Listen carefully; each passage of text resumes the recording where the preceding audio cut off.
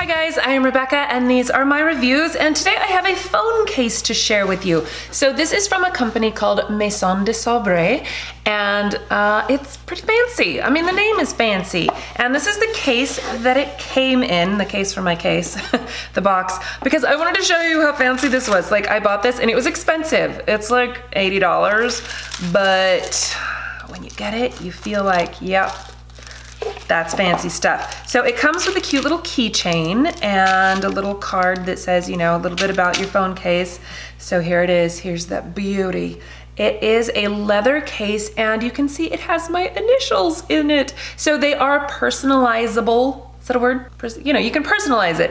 Um, and it does say Maison de Sabré down here and uh, you know you, they have a ton of different colors and they have cases for all sorts of phones and whatnot. With the personalization by the way you can get it in the silver lettering or in the gold lettering. You can see um, their logo down here is in gold.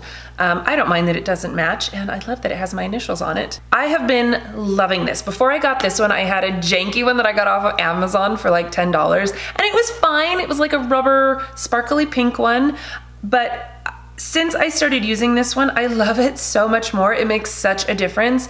It, I have dropped my phone several times and it's still intact, which is nice. One of the main things, I mean, between this and my $10 one, so I mean, it's not really much of a comparison, but it has the entire bottom is open, so it makes it easy to charge and also sliding up is not an issue because there's no lip there.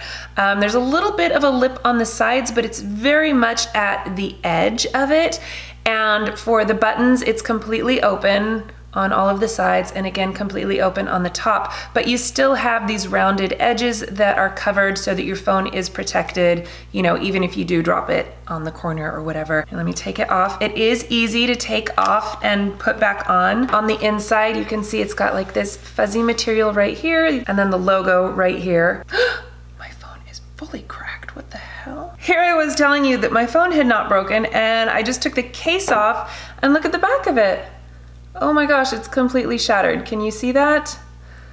Oh, the top of it's all mangled too. How did I not notice that?